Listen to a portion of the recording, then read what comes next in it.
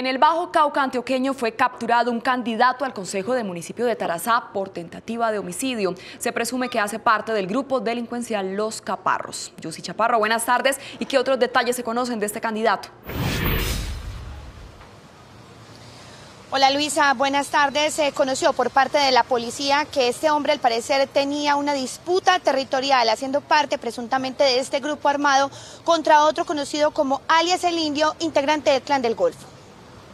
El candidato al Consejo del municipio de Tarazá en el Bajo Cauca antioqueño por el Partido Liberal Nilson Zabaleta se encontraba en su vivienda cuando fue capturado por la policía, que lo señala como presunto responsable del ataque armado contra un hombre y en el que resultó herida la madre de este.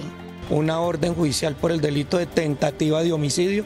Esto sería por algunos hechos donde él pretendería asesinar a alias el indio, un individuo que haría parte de un grupo al margen de la ley, pero en ese ejercicio eh, quien se interpone es la madre, quien es la que finalmente termina herida y por esta situación esta persona le está rindiendo cuenta a la justicia. Tras su captura fue puesto a disposición de la fiscalía. La mujer herida se encuentra fuera de peligro tras las heridas por impactos de bala.